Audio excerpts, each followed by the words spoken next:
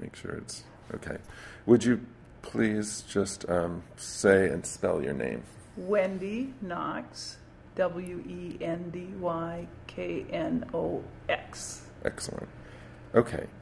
Um, so, as a start, if you could just give me kind of a brief biographical sketch where you grew up, where you're from, what you've done, what you're doing now, and Okay, from originally from here, born in Minneapolis, and of was here for probably I don't know. Then I, I went to um, call, I went to Grinnell, Grinnell in Iowa. In Iowa. Yeah. So was there, and then from Grinnell, I went to Seattle, and then went to grad school there, and then post Seattle, I got Fulbright, so I went to Finland. I lived in Finland for a couple years, and then uh, after that, I came. I intended to go back to Seattle, but ended up back here, and. Uh, Worked with a theater company here. For, I'm a director, and so I worked with the theater company here for a couple of years, and then uh, uh, sort of realized I was in a one director company and I was director number two. So I went back to Finland for six months and directed at the show at the theater academy there, and then and then came back and started a company here. So I'm artistic director of Frank Theater, and I've been here for 20 years. Uh huh. Okay. And you're so when you were in graduate school, that was in theater studies or, or It was dramaturgy in or uh, directing. Directing, MFA okay. in directing, yeah. Uh-huh. So yeah. Okay. And then can you say a bit about your the company that that is here? we do, yeah. Well, our mission is two pronged. It's uh, sort of designed to do work that challenges both the actors and the audience.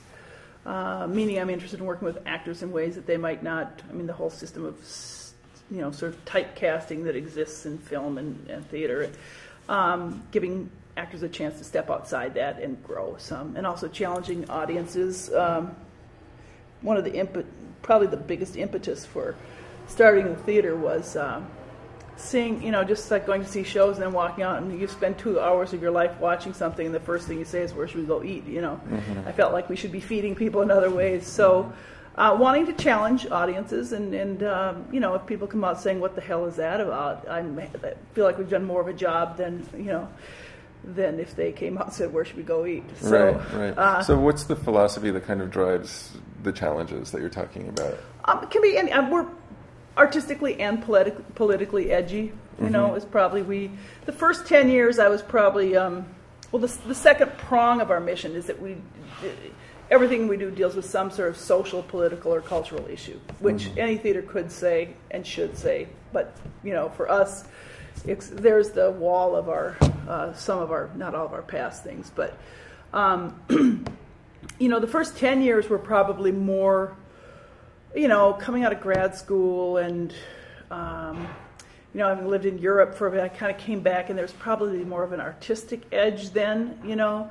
But at the same time, I think I was trying to figure out, um, you know, for me, living outside the country was more uh, valuable probably in personal ways than it was in professional ways, or just sort of having your cultural blinders, sort of, you know you know, when you're on a day-to-day basis living in a in a uh, apartment building where you're with all of the foreign scholarship holders, for, you know, so there's someone from who grew up in a you know a refugee camp in Zimbabwe, or uh, you know a Soviet physicist or a Hungarian linguist, you know, and you're doing your laundry alongside those people. The conversations are very di- very different than what you would have here. So. Right. Theater traditions, though, in that part of the world are awfully. I mean, I, I'm not so sure about Finland, but Eastern Europe in general. I mean, there's more of a kind of edgy, radical right. tradition. And I think that's more true in Eastern Europe. Finland tends to be, although the theater tradition is very strong, and because it's a sort of bilingual country, and Finnish is the language. Swedish rule, Sweden ruled Finland for 600 years, and so that's kind of the language of the upper class, and or was, you know. Um, and theater is uh, a reason, or it was a way in which the Finnish language is kept alive. And so in every little community, there's there's theaters, which is, and there's a saying in Finnish that every Finn is either an actor or a drunk. True, uh, you know, and it's uh, uh, it it uh, so there's the the tradition is really strong. Um, Artistically, it's pretty kind of conservative. Oh, is you know, Okay. I mean, it is because I think it is about keeping their, their cultures, their traditions in place. You know, I think it was that.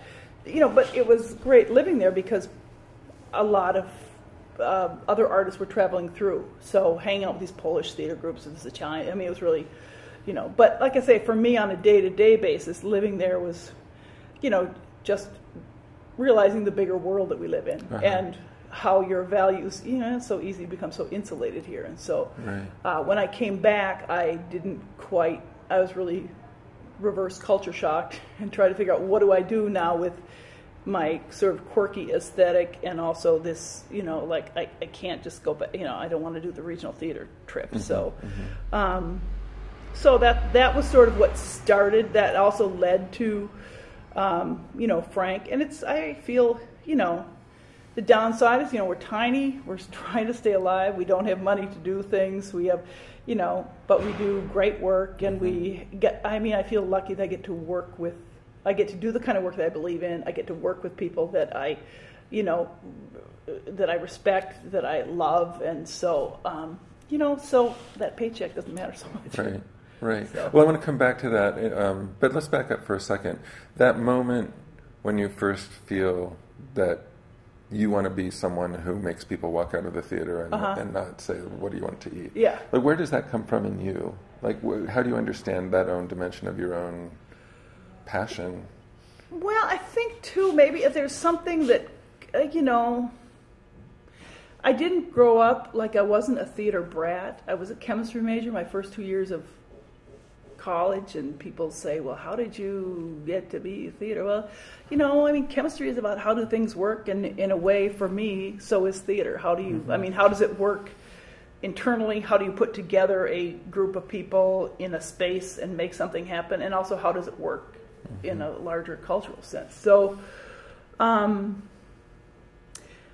i'm not quite sure. I mean i think that once i started working in theater then it was sort of like the next step. Well if i'm doing that then why and how? And it became for me a way uh, i mean i think once I realized I wasn't going to grow up and get a real job, as people would always say, you know, say, you know, once I realized that that's what I was doing, then it was a matter of figuring out how do I do that, and uh, you know, and, and and and it became well, okay, if I'm not going to do something else with my life, then how do I find a way to combine sort of like a community activism, or how do you find a way to um,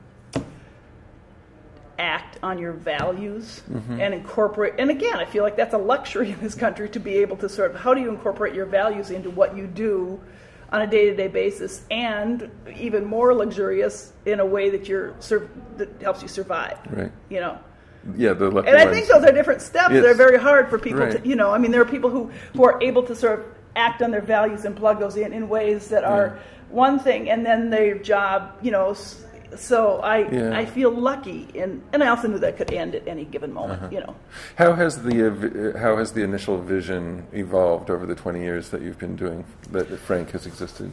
oddly enough we have gone back to like you know revisit the mission statement every couple of years and it's still the same which i think is amazing you know i mean and again i think it's the way it's crafted it's sort of it's uh it's uh open enough that it allows us to do i mean we can do shakespeare um, and we can do Naomi Wallace. We can do, I mean, Suzan-Lori Parks. That there's, a, you know, there's a an openness to what we say we're doing that can include all of those things, and mm-hmm. probably about how we do it. Because when we work on a piece, it's really about sort of wringing out every bit of meaning we can, and also trying to place it in the world that we live in. You know, mm-hmm. so if mm-hmm. we do we do Taming the Shrew maybe five years ago, and it's like, you know, when we do Taming Shrew, it's not going to be your average production. Your average shrew. And also, yeah, and it's also I'm not interested in like you know in doing theater that's oh we're just going to update it to, for updating's sake. I mean that's bullshit. That's Mm-hmm. just like you know so. So it's like, what does this play mean now, and why would we do it, and what are we trying to say to people? So, Mm-hmm. and it's it's equally interesting applying that sort of methodology to like a Shakespeare text or a Greek text or to or to a contemporary piece, you know. So so the vision itself hasn't changed. I think that we've gotten better at what we do and how we do it. I think we've gotten clearer about uh, clearer about how we do things and and more sort of comfortable with yeah, we're a scrappy little theater. That's what we're going to do. We don't aspire to be the Guthrie Theater, for example. You know. Uh-huh. So the other dimension of that, then, there's your own vision and how Mm-hmm. that actually has been constant over the years. What about the conditions you've been working in? Um, Hmm. Twenty years ago was a very different world in certain ways, but maybe not different enough in other ways. I mean, Mm-hmm. what has? I mean, I guess one way to ask it is how. What does the world look like through the prism of your project over 20 years? I mean, what have, what have been the things that have really shifted or changed, or what are the new challenges that have arisen? Um, or, or maybe the connection with your audience has changed. I, I, it's interesting, Matt, because I think all those things, um, like, in a way, things aren't so different. We're still tiny. We're still, you know, scrapping along.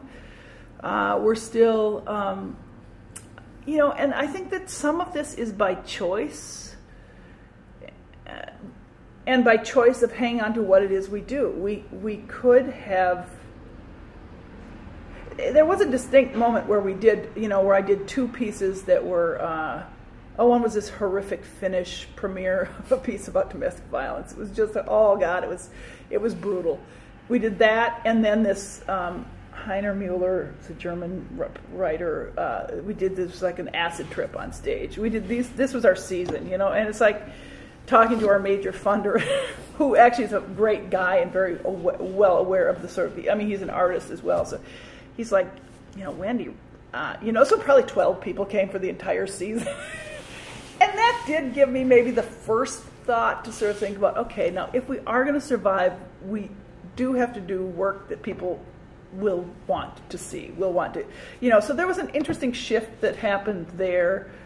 Um, and also it was an interesting, it was probably, we started, uh, we started and this is like in our second decade, we started uh, tackling more classics. We've done a lot of Brecht. We've done, a, and again, doing Shakespeare in a way that, and I think we've become well known here for doing Brecht because our productions are have been, you know, I mean, they're they're we found a way to do it really well, and it fits with our mission. It fits with, you know, um, so there was that that that idea of shifting and being able to incorporate classics or titles that people know, work that may be on, in one way more accessible to people you know, in terms of first, um, when they first hear about it, but we still have stuck to how we do it in stuff. So, um, but in a lot of ways, I mean, the, the operation of the theater may not have changed that much. We've had trouble sort of um, economically um, reaching beyond a certain i mean i guess we're we're slowly crawling but getting past a certain point Mm-hmm. you know we're still kind of a one i mean for a brief moment of about five or seven years we were like a one and a half person organization and now we're back to a one person organization. So i had an administrative assistant for a while. It was excellent you know and uh, hopefully that will come back. But um, you know, because I think because of the nature of what we do, because of the edge, again, both artistic and politically, I think that some funders or some economic sources are uh, maybe scared off by us, you know, a little bit. I think that that's, but it's interesting that I think, uh, you know, and or they may be sort of, uh, you know, I think that we've un- been unable to access, you know, those funds. Those reasons may have changed now. You know what I mean? I mean, like. Um, watching what funding trends are, you know, when it's all about sort of interdisciplinary or it's all about multicultural or it's all about diversity or it's all, you know, and seeing those trends change. And in a way, because we're unwilling to position ourselves, I mean, I've seen so many arts organizations and artists reinvent themselves to fit those funding trends.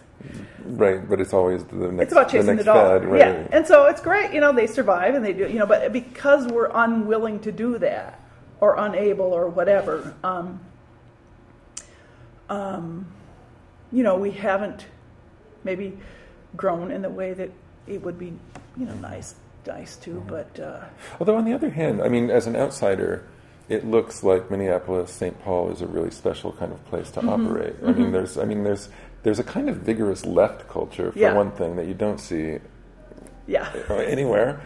Um, but there's also a kind of uh, there's a, an intersection between politics and culture here Yeah. that's really palpable. And I mean, Oh, there's cool. the, the puppet stuff and the Yeah. theater stuff and music, and there's Yeah. you know. So I mean, maybe has that is that as robust now as it ever was, or how has I that think there's changed? an ebb and flow to it. I, I found an interesting sort of um, relationship between what seemed to be going on in Seattle, at least for a period like maybe uh, during the 90s or late 90s or something too. There was, an, there was a lot of trafficking between Seattle and Minneapolis. And so there was periods where, yeah, because I kept thinking, am I going to go back to Seattle? And uh, now I'm not. I got a ball and chain theater company. so, uh, but um, you know, sometimes theater was uh, in in Seattle seemed to be more interesting and more adventurous and more, and then it would settle down and get very complacent, and then it would pick up here. And I think that there's, I think that this is a pretty. Uh, I mean, I do think Minneapolis is, um, you know, there is there's a lot of stuff going on. I mean, both culturally, politically. There is, you know, the again the funding. You know, we're, we're lucky to have the foundations that we have here that provide a basis for us to do our stuff, you know, and support. I mean, having foundations that understand, you know, they understand what it is for a theater that is doing art for art's sake or whatever. It's just like, okay, they're going to do that play and they're not going to make a lot of money, but we believe what they're doing, you know, and that's great. Um, so, so it is, and, and there's there's a lot of there's a lot of it. I mean, there's so much, and it's been interesting to see over the years the the explosion of theaters. They'll be like, ah, there's 20 new theaters this year, and then three years later, you know, well, there's three or four of those are surviving, which is, I think, like a natural part of the, you know, and and I think that, um, I mean, I was well aware of that even when we started Frank. There was another theater that had been around here that did a lot of new work, and they were just kind of dying. And then Frank was sort of, going, and uh, there was also the, uh, I don't know if you know at the foot of the mountain, which was sort of one of the longest. It was a women's theater company. It was one of the first. I don't know if it was one of the first. I think it was the first sort of feminist or women's theater company that had their own space in the country, and they they existed for quite a. And then they they kind of you know fell apart. And then people say, Frank, are you the new at the foot of the mountain? It's like, well, no, we're not. But we're, you know, but we did pick up from both of these two theaters that were sort of fading off as we were, you know. And I think being aware of what our shelf life is or paying attention to when is it are we done do we have anything more to say do we have more work to do is a, mm-hmm. a, a an important thing to be aware of as an artist and as an organization you know and we're we still have stuff to say which is great you know Yeah. we, we just had our t- 20 year anniversary this last season so um I don't know if I'm answering your question. Well, you are. I mean, it's really interesting, though. I mean, I'm looking. I I'm going to take a picture of these, but the posters on the wall, um, the one that jumps out is "The Cradle Will Rock." I mean, when you're putting on a production like that, how do you understand your own relationship to the idea of a tradition of political cultural production? I mean, is there something there that you feel that you need to be faithful to, or that you're a part of, or is it just another kind of uh, opportunity for expression? No, I think. I mean, I think Matt. I do think we do have an aware. Like that piece was interesting. Not all of our work has the opportunity for the number of sort of historic um, parallels or intersections that that one had. That piece we did um, at the Sears building. I don't know if you've driven along Lake Street. Have you? You know, there's that big, huge Sears building. It says Midtown now. Uh, you, do you know what? Yeah, I do. I passed it a few times today. Yeah, it that sat there eight years empty in the middle of this sort of inner city neighborhood. It was just a big chunk old blight. You know, the na- there were three three or four development efforts trying to do something with that property, but because it's such a large piece of real, it's the second largest piece of real estate in the, in the um, state of Minnesota, second to the Mall of America. Wow. and um, you know, it had, they had closed the store and it sat there, you know, and it's you know it's a poor neighborhood around there, and and I live about you know a mile from there, so and I don't know what uh, I just had a crack-headed idea one morning, and I just we were going to be doing this Cradle Rock, and we had this other space that was kind of booked, and there were some problems coming up with the landlord that were just kind of like, you know, it's just going to be a pain in the ass. And I just went, you know, I don't know, and I don't know where it came from, but I, I next morning I just got up and I called my city councilman and said, hey Gary, Frank Theater wants to do Cradle Rock at the Sears building. Can we do that? And he just burst out laughing. He said, Well, you know, the city owns that building right now, and I think that makes me part landlord, so let me get back to you. So he called the, what was then the Minneapolis Community Development Association and asked them, and they kind of had the same, they just thought it was such an audacious, like, what? And, um, you know, just by um, persevering, we and they gave us the keys to this building. I mean, I, still don't know why or how. I mean, they just said here, and we had this whole big building, you know. And we, I mean, we figured out where we were going to do it. Um, you know, we, wandered, uh, but it was fascinating. I mean, just wandering around this. It was the largest catalog shipping center, I think, west of the Mississippi, at one point, and and just and and this neighborhood. Um, I had just bought a house not long before that, over not far from there in the same neighborhood. And there was all these old timers that were still in the neighborhood then. They were just kind of starting to die off or move into nursing homes stuff like that. But so many of them like raised their families working at Sears. And I mean, and so many people talk about, oh, I bought my first air conditioner there. I mean, the, you know, it was just it's interesting what that did for so long, and then it was gone. Mm-hmm. And um, and it was fenced in and these you know so when we went in there and we we did the play um, there was also an interesting um, it was an interesting time in minneapolis. There was like three strikes going on. The metro uh, bus workers were the were on strike. There was a strike at the university i think and i think the state i think AFSCME was going. So um, so there was a you know in terms of thinking about being faithful to a particular tradition with that we weren't so much we're really interested in the history, and every Frank Theater project becomes like a giant research project. Mm-hmm. And I managed to draw in actors and attract actors and hang on to actors that really do want to think about stuff. So they really, I mean, you know, we'll have we'll have the rehearsal table lined up, and there'll be piles of books. And Peter has been on our board and has helped us out a lot. Where he'll come in, and the, the actors are really interested, you know, and not all actors are, but the Frank actors are really just kind of there is an element of activism in them, and also that they're smart folks, and so they want to find, you know. So, um, with all the labor issues that were going on at that time, it was really, it made that piece particularly potent with the fact that we were in this building. Uh, you know, we put these huge posters up outside, you know, and the little neighbor kids would be biking around. They're like, "Is that a movie in there? Is that a movie?" And they come up, we'd get them to usher, you know. Hey, can I see the plan? i Well, I don't know. So, does your mom know where you are? Go bike over. Tell your mom. Tell you're going to hand out program. You know, we just give them. You can hand out programs. And tell your mom you'll be home by eight ten. You know, and so they would. They, it was really a, a great. It was really fun. And then the the show happened to be.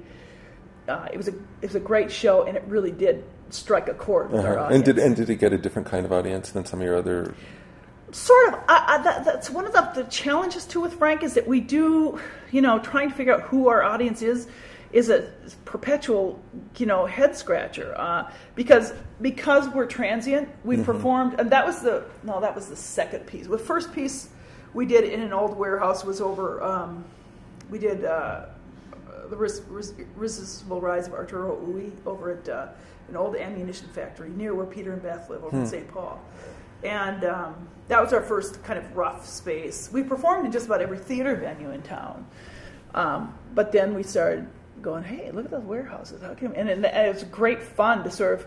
There's two things. One, it's great fun to be able to just sort of have this, you know, blank canvas and figure out where are we going to put. You know, it makes everything five times more difficult, but also um, finding buildings that have some uh, interesting historical or social significance it, that sometimes lines up with the play that we're doing and sometimes not. But being able to the, to see what happens to the neighborhood around it, mm-hmm. that it just kind of energizes people. Like, what's going on? What's going on? Yeah. You know, we did um, over on the the Pillsbury A mill. It's a flour mill. It's on the other side of the river. Is it the original? I mean, does it go way back? Yeah, yeah, yeah. It's really cool. And um, we did four productions in the machine shop that is attached to the flour mill.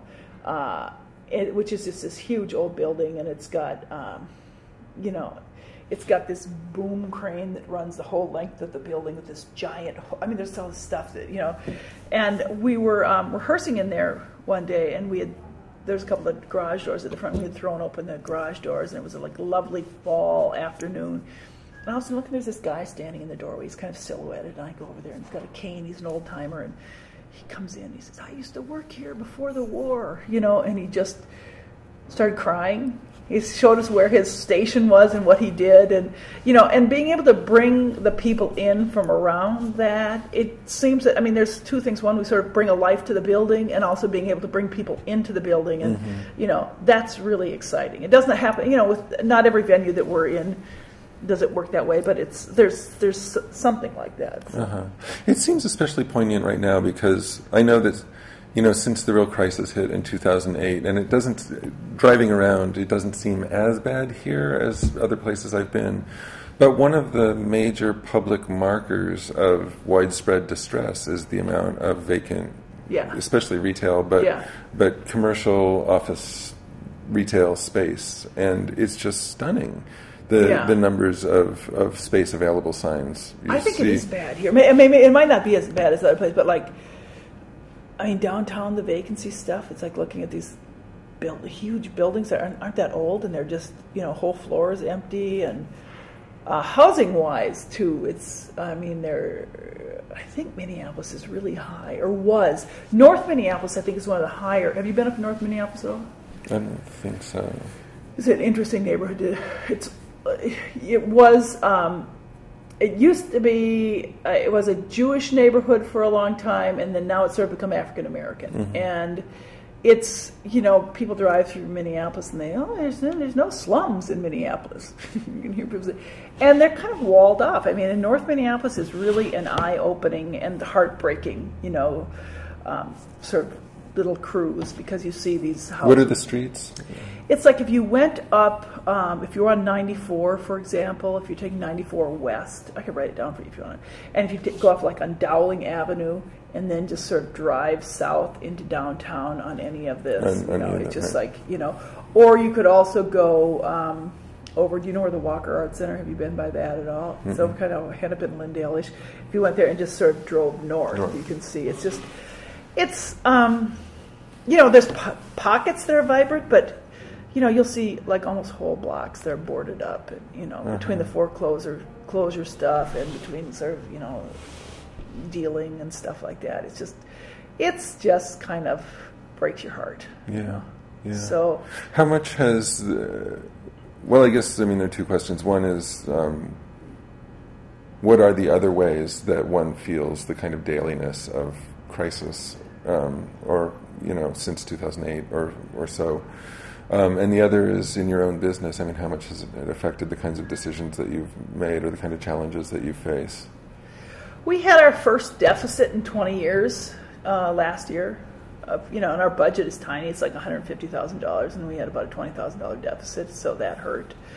Um, and that, um, you know, affects. We had enough of a cash reserve to sort of absorb that, but.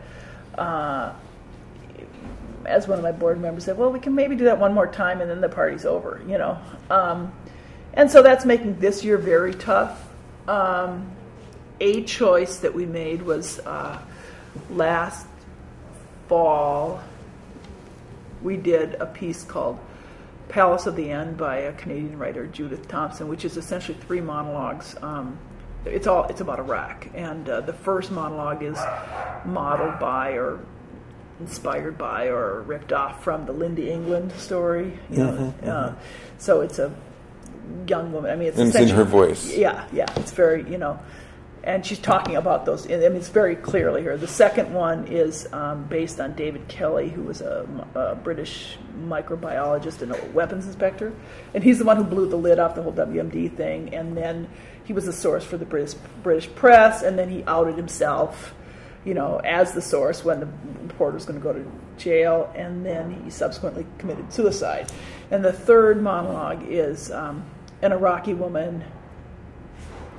I guess she's it's based on a real Iraqi woman. We couldn't find much about her, but that she was um, bombed by the Americans in the first Gulf War. Um, so she's talking about life under um, Saddam Hussein. Um, so three little monologues. A lot of our stuff, a lot of our work tends to be big, epic, sort of, you know, huge casts. I'm kind of like, you know, friends of mine look at me, comes in, like, Knox, what are you doing here? Everyone else is like dying and they're doing two and three person shows and you're doing a whole Trojan War thing with a cast of 20 and an original score and, you know, in a warehouse, you know.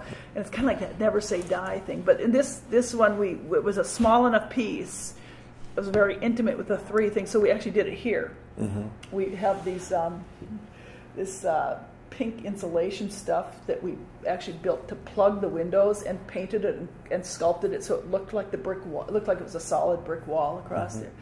And it was just three. We had three things here. We had a 50 seat theater. We we put risers in the chairs, and so, I mean, uh, which was a way of. It worked very well for that piece because it was so intimate. For us, it was an economic thing too because we're we, this is our rehearsal studio. We're here anyway. We're having to pay rent on this place anyway. If we can do it here, let and it was a great. I mean, so that was one clear thing that we sort of did. Um, it, you know, the whole economic thing is affecting, you know, uh, as much as I don't want it to or refuse to let it dictate artistic choices. It's it is, you know, I mean, if we're going to survive, we're having to sort of hunker down quite a bit.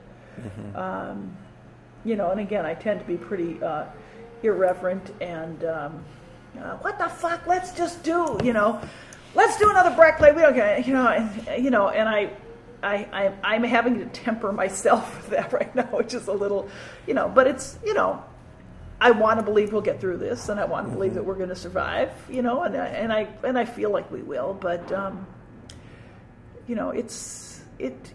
You can feel a constriction, Yeah. you know, Yeah. and I think, I mean, I think you can. I mean, I feel that even more broadly around just even around you know, friends of mine, the number of people that really are out of work, and not just that are numbers that you read about, but people that you know who you know. I mean, I was in a thing yesterday. It was a training workshop offered by the Arts Council. There were 17 people sitting around the table, I think, and two of them were had said that they had just that they had lost their job. They had just lost their jobs fairly recently, you know. So, and, you know, there and people. I mean, the numbers. Then that's I know that's a low percentage, but still, it's just It's- it's you know If you're one of those people, it's Yeah. a very high percentage. yeah, and it's I, and I do think it's like feeling it differently than than I've ever seen. You know, I mean, the weight of what's going on now. You know, whether it's just that I'm old enough to comprehend that, which could be. Uh, you know, but it just it does feel that it's a, you know, it's a it's a it's a rough time. Yeah. So, looking out from the theater to the city to the nation, Uh-huh. you know, what, what have, how would you characterize your experience of the last? Well, let me ask the question this way. When I use the phrase "our current moment," it seems to be a very powerful one for people, although people attach different meanings to it. Mm-hmm. Yeah. But it's people do, in general, have a sense that this is a kind of extraordinary moment Yeah. we're in, whether they're defining it as the post 9/11 moment, Right. the post crash moment, Right. the Obama, whatever. Right. But what's what's your sense of um, kind of the outlook for the nation and, and how you've experienced these extraordinary times? Well, I do think it is extraordinary, and I do think there is. And I do think for me, the Obama thing is something. This great exchange about a week ago. I was over at the Y. I'd been swimming there, I was sitting in the hot tub, and there was two. There was an old guy, an old white guy, a young mixed race woman, and a probably middle aged um, African American woman who was just. Uh, and the the women were talking about um, hair, you know, about knowing how to do your kid's hair and and you know uh, and or I think something had happened. I think there had been a white the, the young woman had uh, who mixed race had um, had her hair braided, and I think maybe someone had just left the hot tub that had asked something about that, or someone had gotten upset about. It. These women were not upset, but they're like, "What was she all?" Um, so that, this conversation started, and I was sitting there, I was listening. I couldn't help. I just I had to join in with them too. And so then we were talking about. It was just a. It was great to be talking with these, you know, um, and uh, then somehow, you know, we were gabbing about this or that, and somehow it got to Obama, you know, and it was just. It was so great to he- hear this. I mean, the woman had to be in her. She was probably 50s, early 50s, maybe more, but just I just, I never thought I would see it. I, you know, you know, and and same thing with the younger mixed race, where they're just like, you know, and we were all like, who, uh, who would have thought? It's like if you were thinking Hillary or Obama, who do you think, you know? And I mean, I think that there is still a glow about that, and there still is just something about. I mean, I, that how incredible that is, that um, something you didn't think really would happen in your lifetime or wondered if it would did happen, you know. And um, and I do think that that sense of euphoria and hope that I think still uh, I think still think it hangs there. But then you know then you got all this crap, you know. You get all this, you know, and it you know, I mean, you want, I mean, with all the messes that are going on, and of course, then the whole thing about who wants to blame who, and that sort of that kind of bullshit of throwing stuff back and forth, which is just really kind of muddying the waters and not getting anything done, and all, you know, mm-hmm. so uh, seems to be hampering any kind of movement, you know. Right. I guess. Well, so when you think about the first year of his administration, which which thing for you takes more luster off of it? Is it is it decisions that he's made, or is it things that you see in the opposition, or is it just the whole compound? I mean, no, it's things in the opposition because I also think you know, I mean, I just think that being president in this country is a you know, it's what a job. You know, you can't win, and who would want that job? You know, I mean, getting anything done and also i just know too is that even when you're leading any kind of group whether it's a group of you know 15 artists or a classroom of you know 35 students or you know what and imagine trying to lead a nation. 300 million no thank you you. know exactly. It's just like you know and and um, you know and getting things done and changing things takes time you know? And you know i mean again and i think he's made some big bold you know moves, and um, some of them may or may not, not pay off, but we don't know that. I don't think we're going to know that. And I guess, again, I'm, I'm far more uh, willing to extend that time to him mm-hmm. than I would, particularly after the eight years of the previous, you know, stuff. So, mm-hmm. so I, I, I, don't. I also think it's just. Um, I just think it's interesting with what our political system is too. That I don't know how the guy can win. You know. Well, we've almost become ungovernable. Yeah, yeah, and it's getting more so. It is like I mean, the way that the Congress is right now, it's just like I mean, what a bunch of assholes, you know, and they're all just. I mean, I, I, as much as I say I don't, I don't fault Obama for this, but then there's some Democratic Congress people that I'm just like, what the fuck, you know? Hmm. So it's it's it's very interesting because it to see how the whole country has moved to the right, you know, in the past whatever 25 years or so. I mean, I just, I mean, I remember going when I was living in Finland, going to uh, London for Christmas, and I was with a bunch of friends of mine. I was with some friends of mine, and we were friends of theirs. They didn't know me from Adam, whatever. And this is this is Reagan era, you know. So this is like, and they found out was Yank. It was just like, oh, they were on me about, you know you know, planting cruise missiles in Europe. And it's just like, would you have a conversation with me first? you know, but it's just like, because you're American, right, you did you know, this. You, yeah, yeah, you're, you're responsible. Yeah. You know, and but it's interesting to think about what you know what the country was then and how it is. I mean, and this is just really sort of how the country has changed, even in my adulthood. You know, how it's everything has moved. You know, has crept to the right so even people who are like what would have been centrist then now are like flaming commies, you know? Mm-hmm. right, like Obama. yeah, exactly. and it's, just, and it's a, bunch, a bunch of bullshit. You know, it's like you look at what he's saying, it's just like, so that's that's very frustrating, you know. Mm-hmm. You know, and then this whole this lunatic fringe we've got going on now is, and mm-hmm. our governor here, who just cut, you know, health care for the poor he just cut out the general uh, the general assistance medical care you know stuff for you know. And he's going to have his mug on meet the press this sunday so. Right and he's going to make a run for the presidency. Yeah exactly. And that's what he's doing. So he's completely abandoned this stuff. He's gone to sort of try and balance the after, after trashing obama's sort of you know stimulus stuff he took a big chunk of that money to balance the state budget. And then um, and then also to further balance it, he, he did all these cuts across most uh, most departments. It was about six percent for the arts. He took like thirty five percent. He wants to get rid of the Minnesota State Arts Board and have it become a nonprofit corporation. You know, he's just an asshole. so. Mm-hmm. Is the Tea Party movement visible here? I think it is a bit again. I don't traffic in those circles, Matt. that does not surprise me, but, but I thought know- you might notice them when you saw them. Right. No, you know they do. There have been these um, rallies at the Capitol. I know there was something. Was it the Roe v. Wade anniversary or something that was not too long? I think they were there having a. Didn't they? Wasn't there a national sort of Tea Party day where they were all parading around? Yeah. So they were. Mm-hmm. So they came out here yeah, for they that. came out here for that too.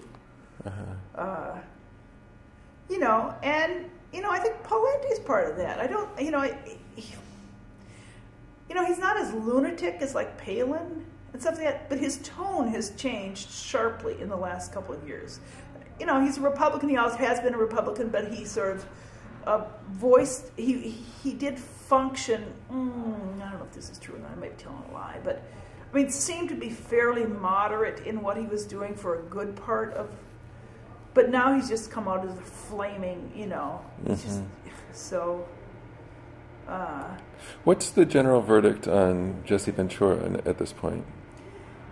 I think everybody, I, I, you know, he's a nutball, and I love that Minnesota has this history of just, you know, electing these nutballs for like governors. It's just, you know, um, you know, I think that that's, I think that's kind of what it is. You know, that he was just, he was kind of a nutball. But I think that some of the things, I mean, he's just interesting as a politician, where some of the things that he did.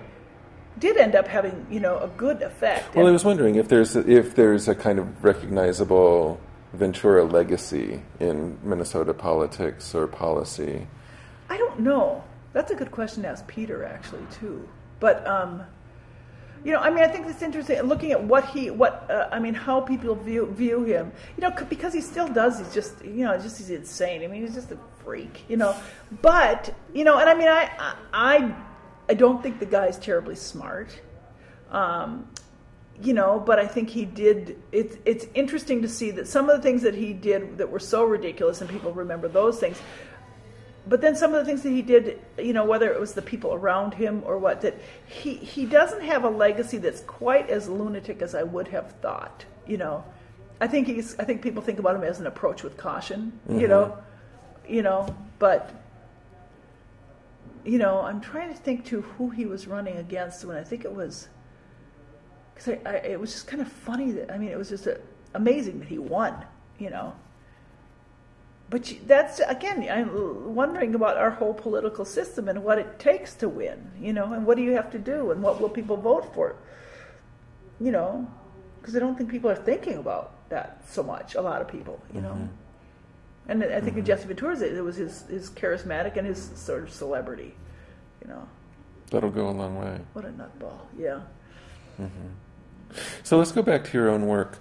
Um, during the Bush years, were those? I mean, one might imagine that those were kind of boon years for an edgy, left of center theater group in Minneapolis. I mean, did you find that there was a certain energy for the kind of work you were doing because of how wretched the world had become? I think, I think for certain pieces, yeah. I think that we did this piece called "The Love Song of J. Robert Oppenheimer," which was about. It was sort of an imagined conversation between um, uh, Oppenheimer and uh, Lilith as a figure of you know Hebrew mythology. So, uh, and um, she being a figure who was cast out, and he being someone who was also cast out of the scientific community. So, it was an, a very interesting piece, and just about the whole sort of development of the bomb. And was it fueled? Was it truly fueled by? Um, intellectual curiosity and sort of scientific exploration, or was it fueled by rage at what was going on in Europe at the time? You know, uh, very smart, you know, interesting piece, and we did it just as we were getting ready to go to war, and uh, and it kind of again kind of electrified audiences. We had just um, we do after uh, on we do Sunday matinees, and after every matinee we have a a post show discussion where we it's not about you know how did you like the play. Uh, it's about we invite members of the community to come in who have some experience with or perspective on some aspect of the subject matter of the piece. Like we had um, uh, the guy who who was the curator of the uh, Los Alamos Museum he was here. We had someone from the university who had worked because Oppenheimer's brother was here for a while. We had, you know, we bring in different people and then have a conversation with the audience to try and, you know, sort of wrestle with the ideas that are raised in the play. And I'm not so interested in the sort of artistic, what did we do with it, but what does the play provoke in you that you want to talk about? And, um, you know, usually you say, okay, we're having a post-show discussion how to play, and you can see people just flee, as I would flee for the door, get me out of here. You But I remember one of our one of our first ones or something. We we sort of said there's one person left. I mean, there's an audience. It was a small theater, probably 70 or 80 people. Only one person left. Everybody else just stayed in their seat. And I think the play had an impact, but they also really wanted to talk about stuff. So there's a few pieces in that time that. Um, you know, Cradle was another one that again sort of fired people up. What year were you doing that? That was 2003. Mm. When did we do Oppenheimer? There's not a year on that. That well, that was like 2003 too, because we had our year, and then we did. Um, uh, another one, uh, the God of Hell, which is a Sam Shepard screed. It's excellent. He's just pissed off at the whole it's a, it's, a, it's a, it really is just a rant against the whole Bush administration. It's excellent, you know. And that one also, people just loved it. They ate it up, you know.